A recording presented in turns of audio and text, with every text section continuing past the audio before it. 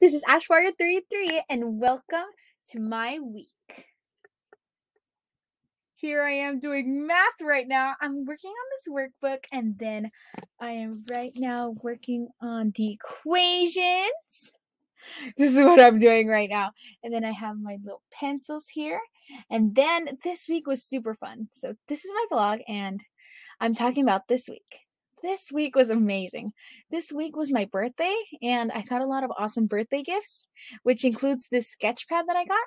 And in this sketch pad, I'm going to show you a drawing that I made. It's super pretty. I'm so proud of it. So here we go. It's right here.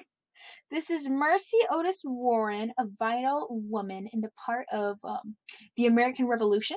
So I saw this in my brother's iPad. So I'm like, oh, she looks pretty. So I'm going to draw her. So I was using charcoal from one of my birthday gifts. And then I watched a YouTube tutorial on how to make a pot. I really like the way that it looks.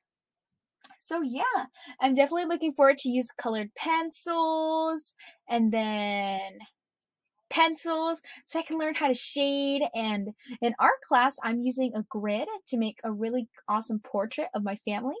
So, yes, that's what I really like to do. And, well, yeah, right now I'm currently studying, I'm doing a good job.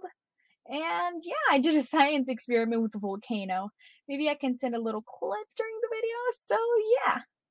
So, yeah, that was my week. So, Thank you, everyone, and have a good day. Goodbye.